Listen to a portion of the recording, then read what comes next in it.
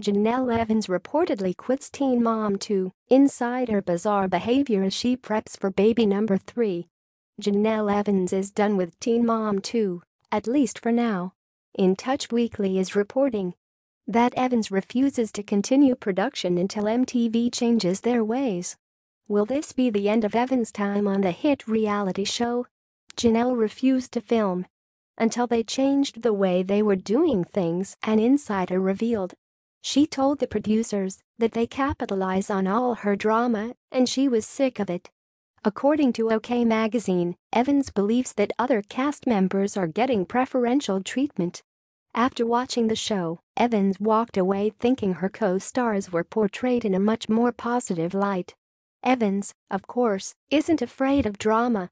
Apart from preparing for the birth of her third child, Evans is in a heated battle with her ex, Nathan, and mother, Barbara, over the custody of her boys, Kaiser and Jace. Not to mention the assault charges Nathan's girlfriend filed against her this season. In the promos for the show, they always show happy moments for other girls with their kids, but she said if it was a promo involving her, it's all drama and stuff that makes her look bad, the insider continued. It finally sounds like Evans is standing up for herself. Jenelle put her foot down. She had a huge fight with the team and told them she is not going to film anything else. She was ready to walk away from the show, the insider added. She was so mad. She said they never show any of her good peaceful stuff or give her any positive time at all. Like that trip to Florida, all they featured was her bashing Nathan Jenelle Evans' hard stance eventually paid off. Evans finally agreed to return. Filming once producers promised to show her in a more positive light. Evans isn't the only member of Teen Mom to express their frustration with the editing process.